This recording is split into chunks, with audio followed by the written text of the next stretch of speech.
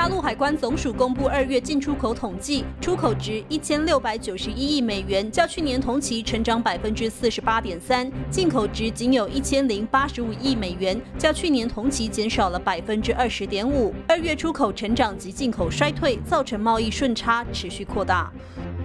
江西省九月出现大范围大雾，气象单位发布橙色预警信号，导致十五条高速公路被迫封闭。其中南昌市能见度甚至不到一百米，市区被大雾笼罩，不少民众佩戴口罩出行。江西第一高楼两百八十九米的红谷滩绿地双子塔等摩天高楼群，也在雾中隐身。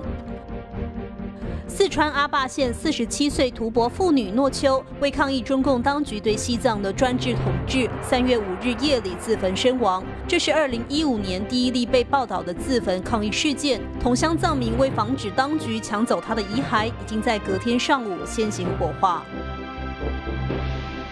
有“最美洗脚妹”之称的中共人大代表刘丽日前在安徽省代表团讨论时发言，说现在农民工讨薪很难，建议在民工讨薪期间，用人单位要承担劳动者仲裁诉讼期间的工资。他的建议提出后，全场顿时鸦雀无声，没人回应。